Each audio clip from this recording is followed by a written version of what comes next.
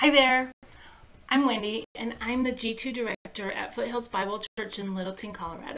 And our staff has been posting some Facebook devotionals with the hope of encouraging each one of us and keeping us all connected during this pandemic time.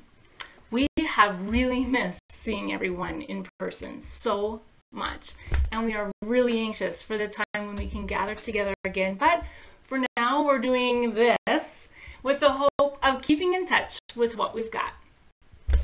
Last time we met here, I well, here, I talked about using this time of quarantine as an opportunity to ask the Lord of what it is that keeps you and I from walking out in freedom. In other words, if we really trust in the fact that the Lord has provided a way, a better way for us to live, then what is it really that keeps us stuck? Now, I know the answer to this question can be really, really big and require a lot of thought and work. But I just want to give a few quick thoughts about what next steps to take or what to do with that answer. An answer like just give it to the Lord may be a good answer, but I personally think there's a lot more to it than what that statement makes it seem like. So let's break this down again.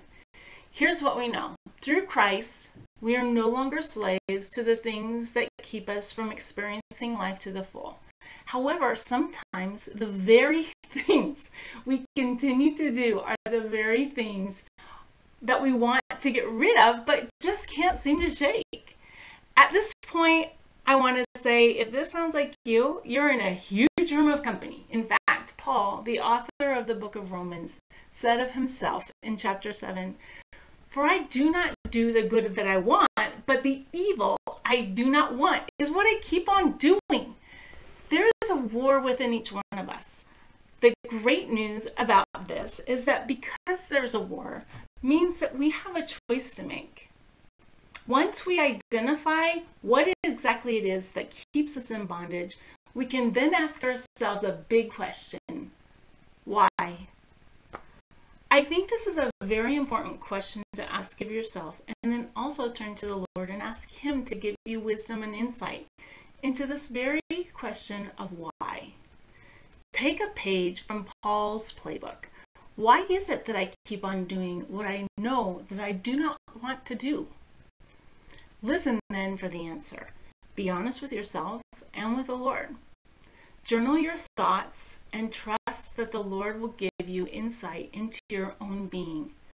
James tells us in his book if any of you lacks wisdom, let him ask God, who gives generously to all without reproach, and it will be given to him. This includes questions about yourself. Don't worry, the Lord will be honest with you. This I'm quite sure of. Next time, we will take the next step into freedom from what stops us into enjoying abundant life.